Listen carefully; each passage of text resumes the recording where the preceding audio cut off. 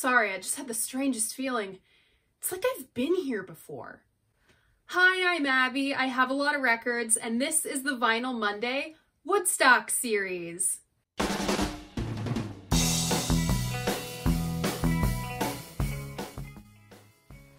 So welcome back, or welcome if this is your first time here. Vinyl Monday is the series where once a week I just sit down and talk about records that I love. And right now you are watching the third and final installment in my Woodstock mini-series. So for three weeks now, I've talked about the music that went into and came out of the Woodstock Festival. I recommend you go watch parts one and two if you haven't already, then maybe you'll see why I took the direction I did with this episode. And this week we're talking about Deja Vu by supergroup Crosby, Stills, Nash, and Young. Let's take this out of the plastic here. And my copy is an original. The originals are gold on black, and all of the pressings after 1977 are gold on brown. I'm not totally sure why they made this change, but I do like the black faux leather texture that we have going on on this pressing. So the photography for this jacket was done by Henry Diltz and Tom Gundelfinger. this photograph is pretty cool. You got Crosby and his mustache right here. The style is very reminiscent of early photography of daguerreotypes, and you also have these cut corners on all four sides, making it look like it's in a photo album. It's very American, which is hilarious, seeing as only half this group is American. On Deja Vu, you have David Crosby of the Byrds, Stephen Stills of Buffalo Springfield, Graham Nash, originally of the Hollies. Sorry, I don't have any Hollies records. I just have songs for beginners. And Neil Young, also of Buffalo Springfield.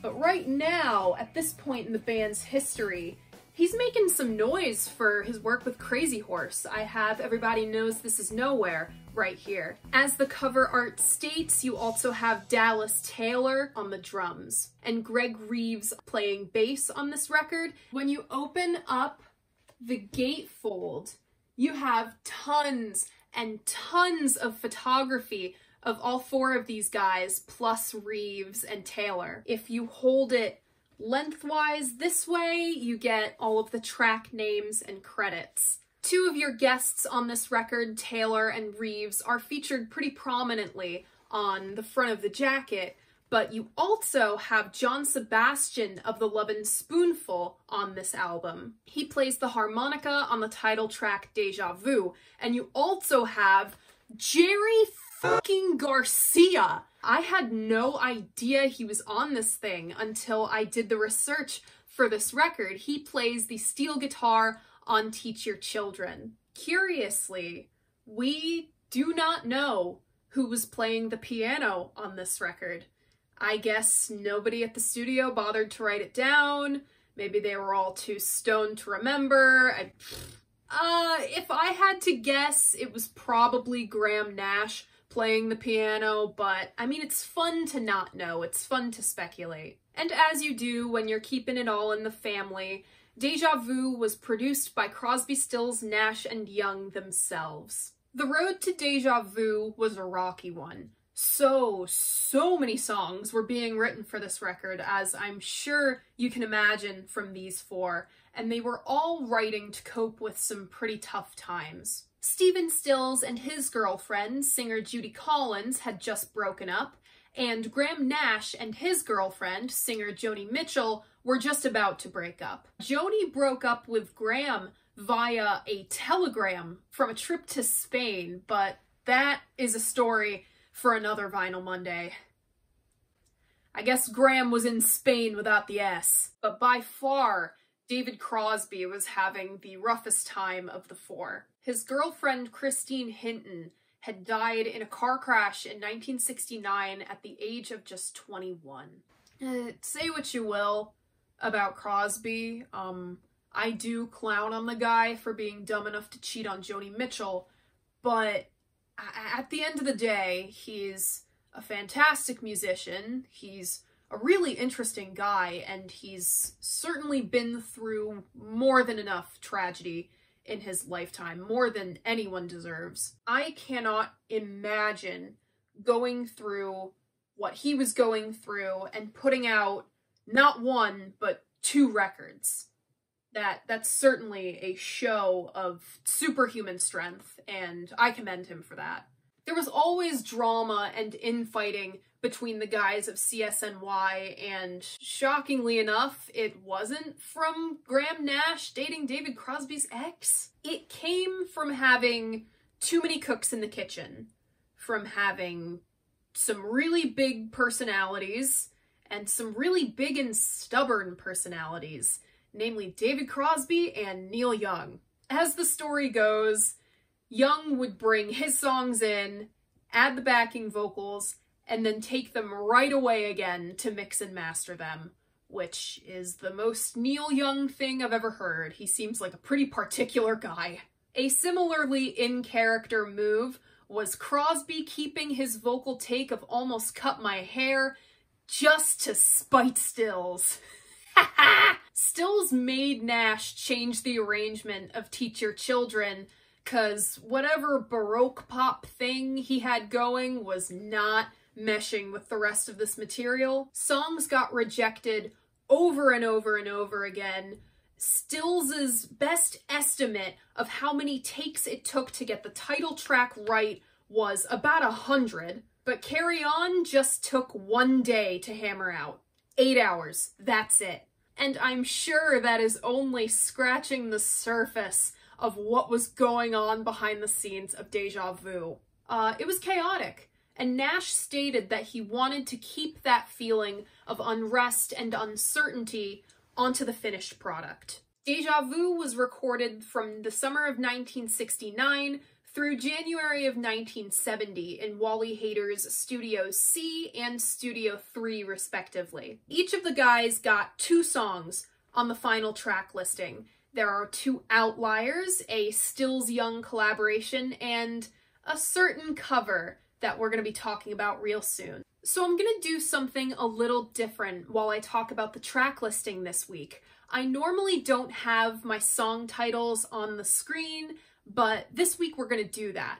And I'm going to color code them by who wrote the song because I, I feel with so many writers on one album, we, we kind of have to do that to keep everybody straight. The red text will be the songs written by Crosby, Yellow is Stills, green is Nash, and blue is Young. Um, I'm just gonna have the outliers in white. Side one opens with Carry On. Then we have Teach Your Children, followed by Almost Cut My Hair, then Helpless, and side one closes with Woodstock. Yeah, I bet you see where we're going with this. Oh, I'm so good. Side two opens with the title track Deja Vu. Then we have Our House, 4 and 20. Then we have Country Girl, which is a medley of three song fragments called Whiskey Boot Hill, Down, Down, Down, and Country Girl, I Think You're Pretty. And the record closes with Everybody I Love You. All right, so last week, of course, we talked about Joni Mitchell's Woodstock, and this week we get to talk about CSNY's Woodstock. So Joni Mitchell missed Woodstock, but CSNY didn't. Um, of course, Graham Nash was dating Joni Mitchell at the time, and Mitchell wrote the song inspired by Nash and others just gushing to her about how amazing Woodstock was, which to me is just the best way to deal with FOMO ever. CSNY finally took the Woodstock stage at around 3 a.m. on the final day. Remember, the festival ran incredibly late, and Nash described it as both primeval and futuristic. This is what they performed during their Woodstock set. They opened their set with Judy Blue Eyes, which was followed by Blackbird, a Beatles cover. Then they played Helplessly Hoping, Guinevere, Marrakesh Express, and 4 and 20 off this record. When they played Mr. Soul, Young finally hopped on stage for the rest of the set. He was very nervous about the whole thing. He was nervous about playing with the guys. This was only their second gig ever. He was nervous about the crowd and he was most wary of the documentary crew. He actually refused to go on stage until the cameras were cut. Next, they played Wonderin', followed by You Don't Have to Cry. And for the rest of the set, they plugged in and went electric. They played Pre-Down Roads, Long Time Gone, Bluebird Revisited, Sea of Madness, and they closed their set with Wooden Ships. Uh, they did go back on for an encore in which they played Find the Cost of Freedom and 49 Bye Byes.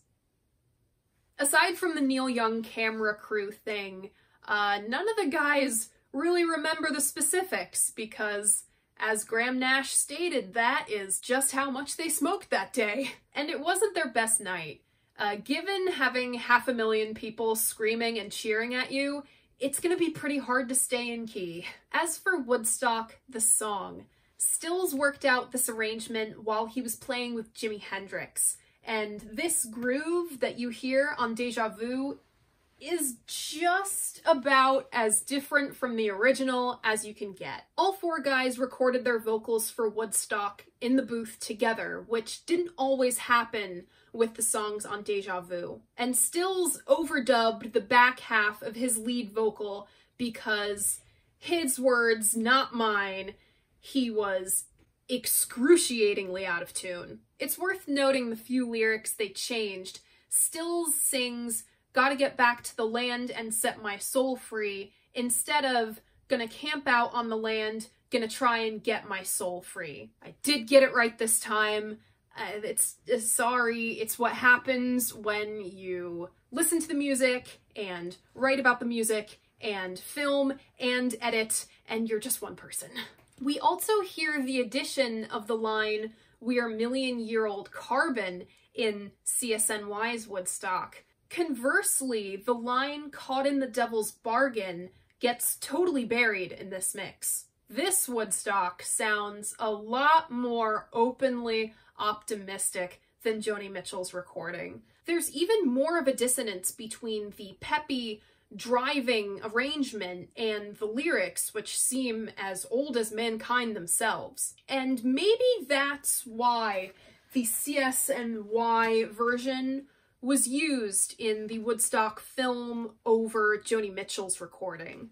It fits the sunshiny view of the festival that Michael Wadleigh and Martin Scorsese want you to have a lot more than Joni's recording. Um, I do... Uh-oh. Uh-oh, it's breaking. Ah. I talk a little bit about how this Woodstock film has affected our view of Woodstock today in a piece that I wrote on my website called Peace and Love is Dead. I know that is quite an inflammatory title, but hopefully you'll give it a chance and see how it earned that name in the first place. In a 1989 issue of Rolling Stone, Nash said, If you were at Woodstock and you're enthused about it, then you're a 69 hippie, you're to be discounted.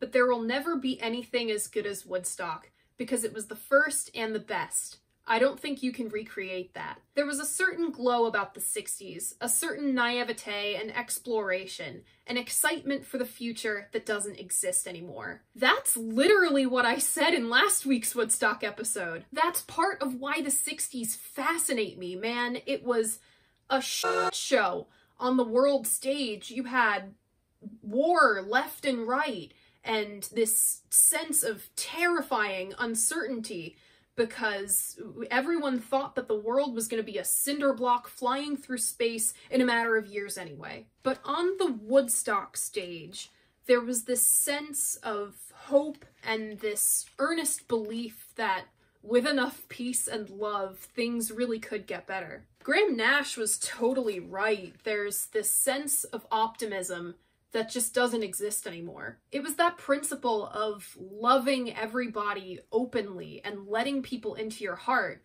Uh, throwing it back to episode one with that, that's what Janis Joplin embodied so well.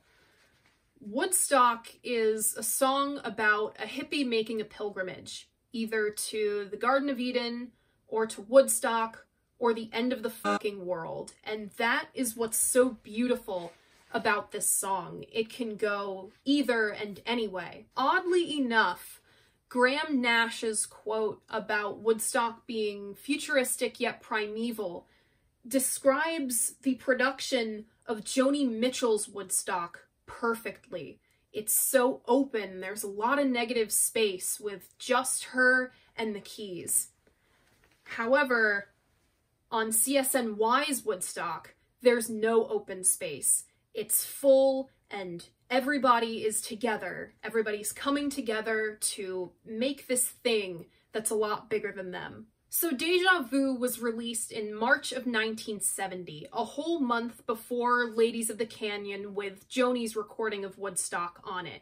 And this baby right here sold 2 million pre-orders, along with, I think, Zeppelin 3. This was the most anticipated record of 1970. And speaking of more recent releases, there was this super cool RSD release that I don't have, which is all made up of alternate takes and outtakes from the Deja Vu sessions. If anybody has that, let me know in the comments and tell me what you think. The success of Deja Vu was instrumental for the successes of all four of their solo records that were going to come out after this. Stephen Stills 1, superior to Stephen Stills 2, if you know, you know. If I Could Only Remember My Name, which sadly I don't have here. Songs for Beginners, which I do have, as well as After the Gold Rush. And if anything's for sure about Deja Vu, it is that it's had an immense legacy. Um, my mom was born in August of 1969, and this is her favorite record. Uh, when I told her I was going to be filming this today, uh, she said one word, and that was awesome. she tells me about this. She would peel the wallpaper back in her childhood bedroom and write the lyrics from the Deja Vu record on her walls. And I also have some thoughts from my friend McKenna. I caught her for this at just the right time, seeing as she saw Graham Nash live not too long ago. So, uh, being a much better music writer than me, I had her write up a little something for this video, and I'm gonna read it right now. Oh, I'm gonna have to make this text pitifully large because I am blind. So these are our words from McKenna. Crosby, Stills, Nash, and Young's Deja Vu is nearly impossible to describe. It's more than an album, more than a feeling. It's the taste of warm apple pie baked with love, or the feel of a soft summer evening breeze caressing your hair. It's a tight hug from your favorite person or a shoulder to cry on. It's warmth, it's reassurance, it's love, and at its core, it's life. That's the beauty of deja vu to me. There are no flashing lights or glittering costumes, no outrageous guitar solos or pyrotechnics. It's not rooted in entertainment or performance, but in expression and humanity. It's about the life all of us lead, from love and loss to jubilation and melancholy. Deja vu captures the essence of the everyday and turns it into something extraordinarily beautiful. From delicate flowers resting in a vase, to the relationship between parent and child, to grappling with self-expression, to love. Deja vu's power lies in its simplicity, and I love it so. It is one of the most emotionally potent works I've ever encountered. The moment the needle drops, tears well in my eyes, while a smile tugs at my mouth. Even over half a century after its release, I find something new to love about it every single day. It's as if Crosby, Stills, Nash, and Young are singing directly into my soul. Thank you so much, McKenna, for your contribution to this video and for such an incredible summary of the, the feeling of deja vu. Not the feeling of actual deja vu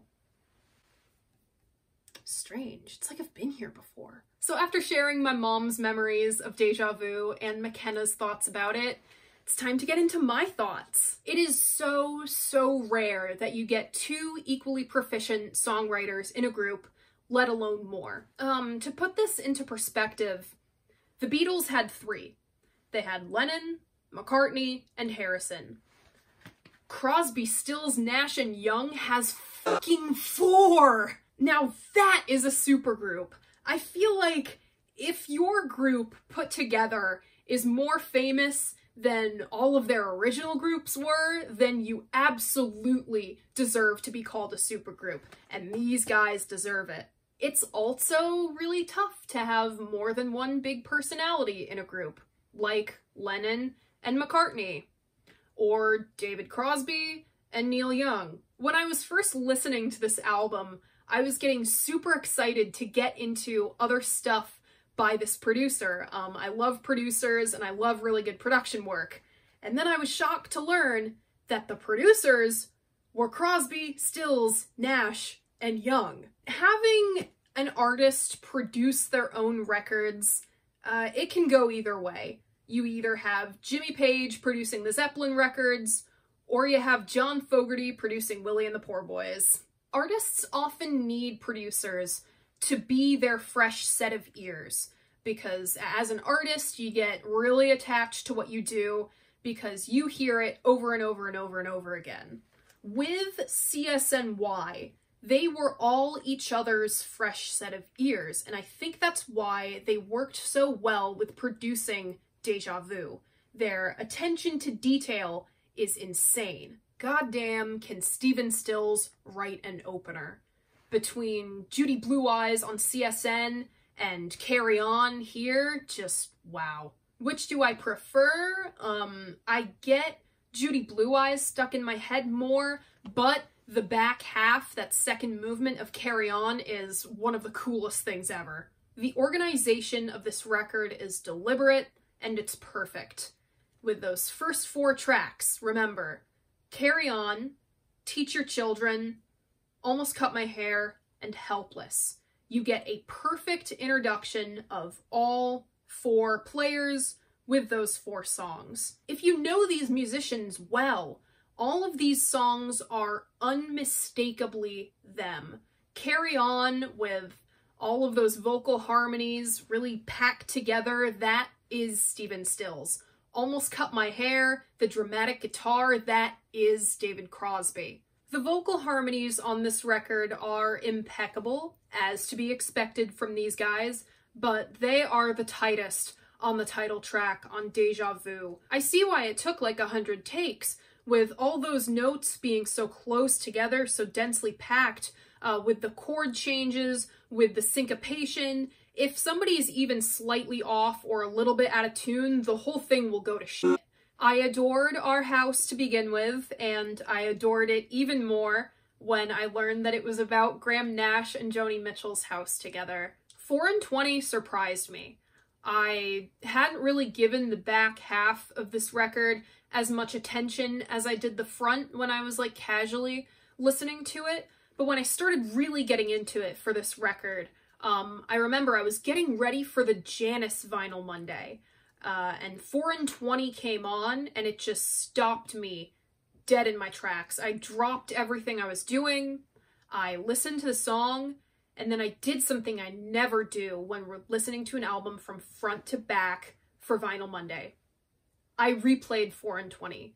That's how much it sort of took me. Uh, it's dark, and I had no idea about the darkness going on in everybody's personal lives when Deja Vu was being made. Just like Stephen Stills hit it out of the park with Carry On, the opener, Neil Young really, really did a great closer with Country Girl. I mean, what a sweet. And then comes Everybody I Love You. It feels like Stills and Young came up with Everybody I Love You eh, and didn't really know where else on the track listing it should go, so they were like, oh hell, why don't we just put it on the end? SOS, I am out of water. In the end, Deja Vu was about four guys all coming together and devoting themselves to something bigger than them. It's like a quilt of everybody's trauma that they patched together and made something cozy and useful and beautiful out of. That's what all of the Woodstock generation was doing. And Woodstock, the song, was a microcosm of that. It's a showcase of four equally talented songwriters something that we haven't seen before and I don't think we've seen since. Deja vu is a once in a lifetime experience. Sorry, I just had the strangest feeling. It's like I've been here before. My personal favorites are Carry On, Almost Cut My Hair, Deja Vu, Our House, and 4 and 20. And that is the final installment of the Vinyl Monday Woodstock series. What do you think of Deja Vu and Crosby, Stills, Nash, and Young? You should leave a comment letting me know. I love hearing what you have to say about the music I like. Yeah, wow, after this comes the big one. Uh, I'm kind of scared for that, honestly. It's been quite the undertaking. But if you want to see the big one and you like what I do here, you should like this video and subscribe to my channel. I post new episodes of Vinyl Monday every Monday morning at 11 a.m. What can I say about the big one? Um, buckle up, get ready. Thank you so much for watching and I really hope that I will see you guys next week for the big one. Bye.